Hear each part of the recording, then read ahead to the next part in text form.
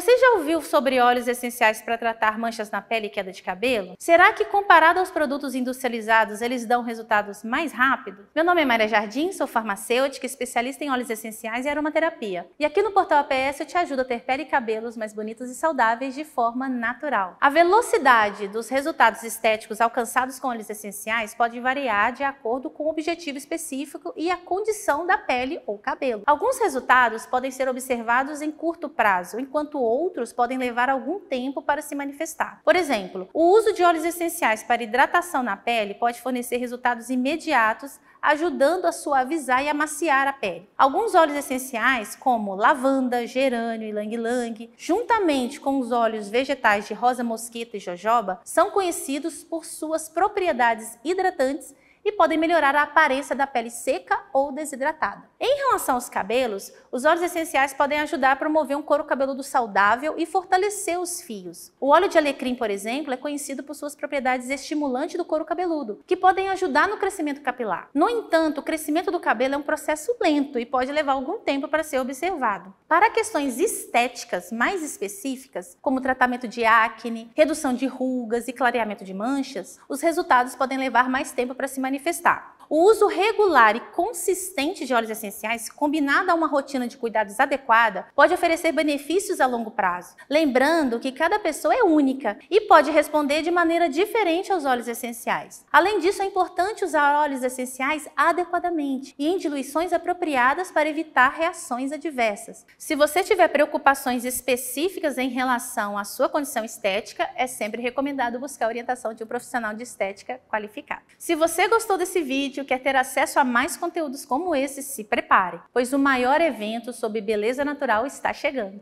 Nos próximos dias vai acontecer a Semana da Beleza Natural, onde você vai descobrir como ter pele e cabelos mais bonitos e saudáveis de forma natural.